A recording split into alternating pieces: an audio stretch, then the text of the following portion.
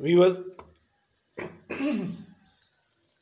कीमा मटर की हमारी रेसिपी ये अस्सलाम वालेकुम प्यारे वीवर्स आज हम बनाएँगे कीमा मटर की रेसिपी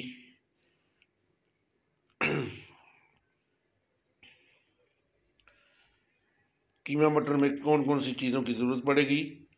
ये आपके सामने पड़ी हुई हैं। ये प्याज, लहसुन, अदरक, टमाटर, कुछ सब्ज़ मिर्चें हैं धनिया है मटर हैं, ये कीमा है इन लजीज़, रेसिपी तैयार करते हैं।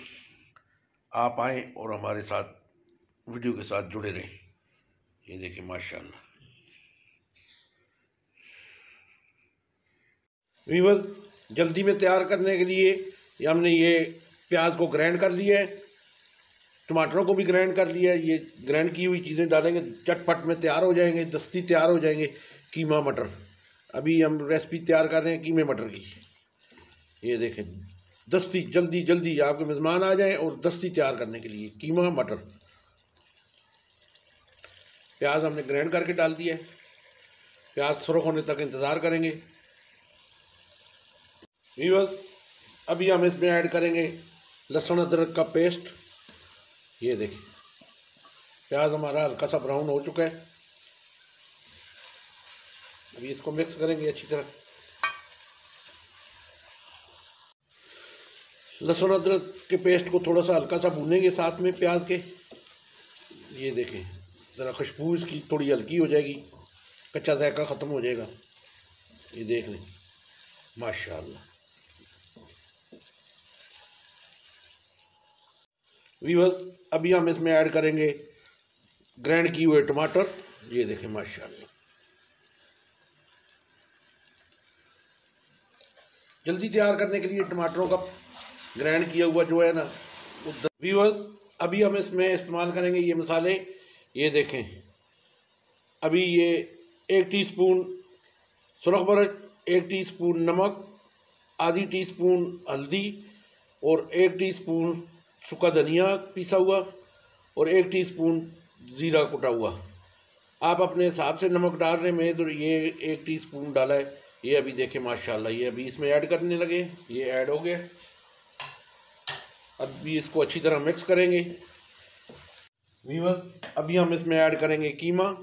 ये देखें जी, कीमा ऐड कर दिया जी। एक किलो कीमा लिया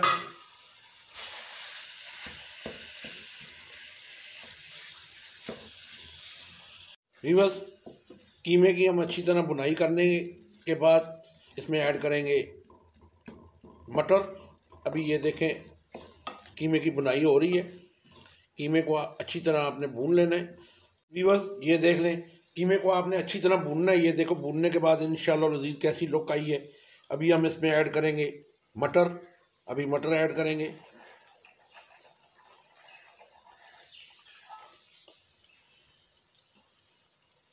कीमे को आपने अच्छी तरह भून लेना क्योंकि भूनने के बाद इसकी स्मेल ख़त्म हो जाती है।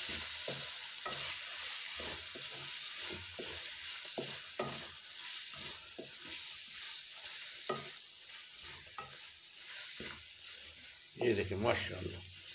लुक देखें, अल्लाह के फजल का माशा